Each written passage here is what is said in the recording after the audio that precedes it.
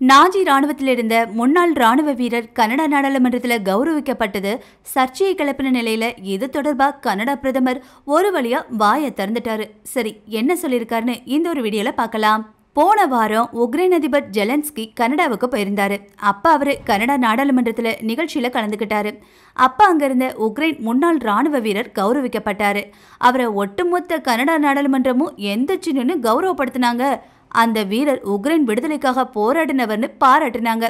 இதில் விஷயம் என்னன்னா அந்த முன்னாள் வீரர் பதினாலாவது வேக்ஃபன் கிராண்டியர் பிரிவில் ஒர்க் பண்ணவராம். இந்த பிரிவு ரெண்டாவது உலகப் போருக்கு முன்னாடி நாஜி ஜோமனியில் உருவாக்கப்பட்டது. நாஜி படைகள் யூதர்களை எந்த அளவுக்கு கொண்டு குவிச்சாங்கன்னு நம்ம எல்லாருக்குமே தெரியும். அப்படி இருக்கும்போது நாஜி படையில் பணியாற்றினவரை கௌரவித்த சம்பவம் மிகப்பெரிய அளவில் சர்ச்சையாக மாறுச்சு.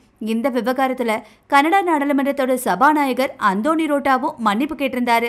அதாவது பார்வையாளர் பிரிவில் உட்கார்ந்திருந்த அந்த நபரை கௌரவிக்கிறது தன்னோட தனிப்பட்ட முடிவுன்னும் அவரோட பின்னணி குறித்து தெரியாமல் போனது தான் இதுக்கு காரணம்னு சொல்லி உலகெங்கும் இருக்கிற யூத சமூகத்துக்கிட்ட மன்னிப்பு கேட்கறதா சொல்லியிருந்தாரு. இரண்டாம் உலகப் போர்ல நாஜிக்கள் படையில இருந்த வீரருக்கு கனடா நாடாளுமன்றம் எழுந்து நின்று மரியாதை கொடுத்தது. வெட்க கேடாதுன்னு சகிக்க முடியாதுன்னு அவர் தெரிவிச்சாரு.